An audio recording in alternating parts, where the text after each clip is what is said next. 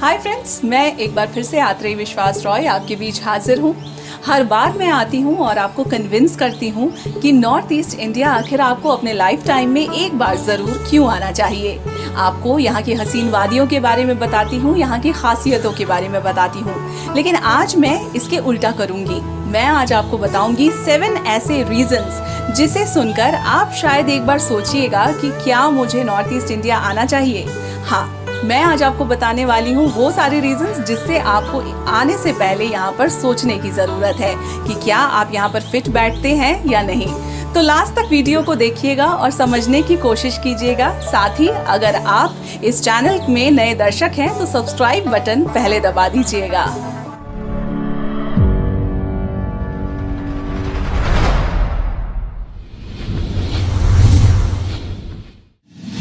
अगर आप एडवेंचर के शौकीन नहीं हैं और आपको हसीन वादियों में खोना रास नहीं आता है तो नॉर्थ ईस्ट इंडिया की ये वादियाँ आपके लिए नहीं हैं। क्योंकि नॉर्थ ईस्ट इंडिया पर जब आप ट्रैवल करते जाएँगे तो हर एक कदम, हर एक मोड़ पर आपको कुछ ऐसा मिलेगा, जिसे देखकर आपकी आँखें खुली की खुली रह सकती हैं। यहाँ पर ऐसी कई सारी स्पॉट्स हैं जो लाइफ टाइम एक्सपीरियंस होंगी, पर वो रास्ता थ्रिल से भरा होगा।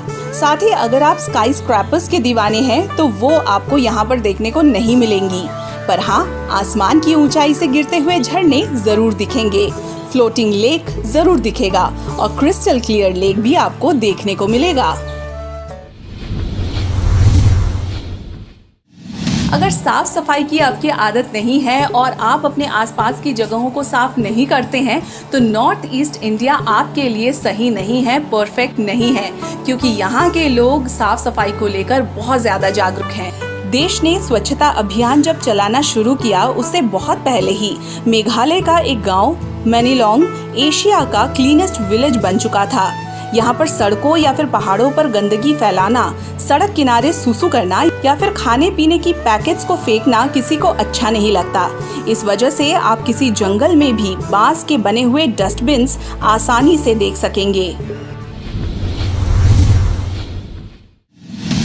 दोस्तों, अगर आप नाइट लाइफ के शौकीन हैं और आप सुबह जल्दी नहीं उठ पाते हैं तो north east India is not your cup of tea क्योंकि नॉर्थ ईस्ट इंडिया में सुबह बहुत जल्दी हो जाता है और अरुणाचल प्रदेश में सुबह तो चार बजकर बीस मिनट में ही हो जाती है। शाम में सूरज डूबता भी बहुत जल्दी है, यानी कि early to bed and early to rise यहाँ की नॉर्मल लाइफस्टाइल है। नाइट लाइफ जैसी चीज़ यहाँ पर आपको नहीं मिलेगी। नॉर्थ ईस्ट बांग्लादेश के ईस्टर्न साइड में पड़ता है और ढाका इंडियन स्टैंडर्ड टाइम से आधे घंटे आगे है। इस हिसाब से नॉर्थ ईस्ट आईएसटी से एक घंटे आगे होना चाहिए।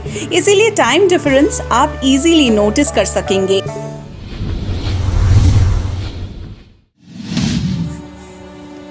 अगर आप अपने फ़ूड हैबिट्स और टेस्ट के लिए कंजर्वेटिव हैं और ज़्यादा एक्सपेरिमेंट नहीं कर सकते तो सॉरी नॉर्थ ईस्ट इंडिया आपके लिए शायद परफेक्ट नहीं होगा।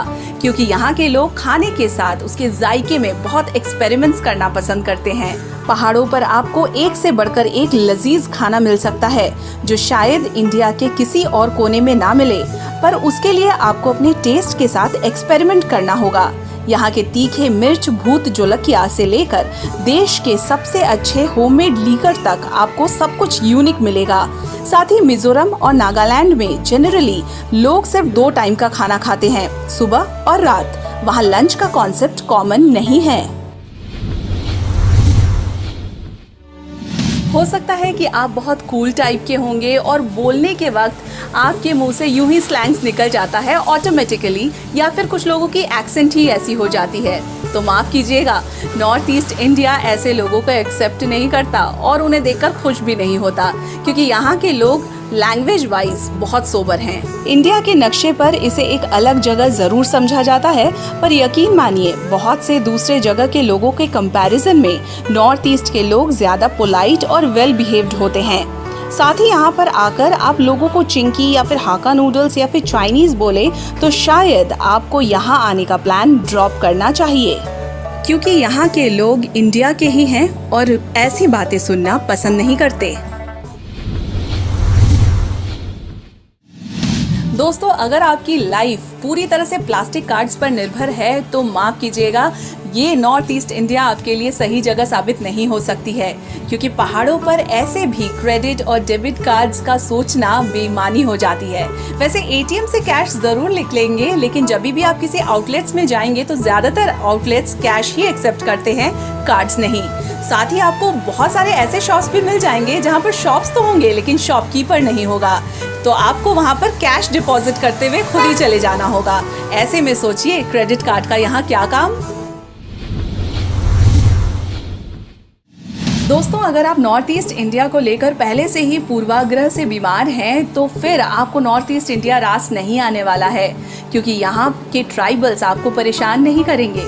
यहाँ पर हर जगह लोग कीड़े मकोड़े नहीं खाएँगे। उग्रवादी आपको जगह जगह पर नहीं दिखाई देंगे। साथ ही साथ, डॉगी खाते हुए लोग भी आपको नज़र नहीं आएँगे। आपको नदी के बीच में आइलैंड तक पर रहने को होटल्स मिल जाएँगे। पहाड़ों के बीच में सड़क दिख जाएगी। कदम कदम पर अनूठी कला दिखेगी और ज़्यादातर जगहों की खूबसूरती में खो जाने का डर रहेगा। तो फ्रेंड्स अगर इनमें से आपकी भी कोई आदत ऐसी है तो आपको नॉर्थ ईस्ट में आने से पहले सोचना ज़रूर होगा। लेकिन हाँ अगर आप खाने के शौकीन हैं हसीन वादियों के दीवाने हैं एडवेंचरस हैं, साथ ही आपको दूसरे कल्चर्स दूसरे ट्रेडिशंस भाते हैं, लुभाते हैं तो नॉर्थ ईस्ट इंडिया ज़रूर आपका इंतज़ार कर रहा है। आइएगा ज़रूर। बाय